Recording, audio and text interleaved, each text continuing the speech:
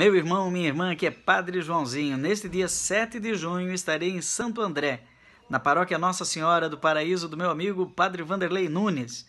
Às 19h30 nós vamos ter uma palestra sobre a fé que opera milagres. Descubra o poder transformador que está dentro de você. Junto com a Pastoral do Empreendedor, que está nascendo aí na paróquia Nossa Senhora do Paraíso e em toda Santo André, em todo o Brasil, vamos juntos mergulhar em águas mais profundas e também vou apresentar este livro que tive a oportunidade de traduzir para o português do nosso querido Papa Francisco. Deus é jovem. Então, nossa Senhora do Paraíso, minha querida paróquia, Padre Vanderlei, aguarde. Dia 7 de junho, 19h30, estarei aí. Deus abençoe a todos.